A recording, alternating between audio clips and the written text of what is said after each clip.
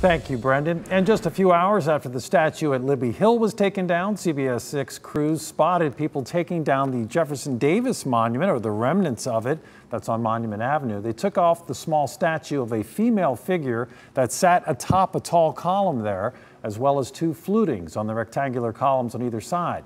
The woman symbolizes the vindication of the South in the eyes of God. The center statue of Davis had been pulled down by protesters almost a month ago.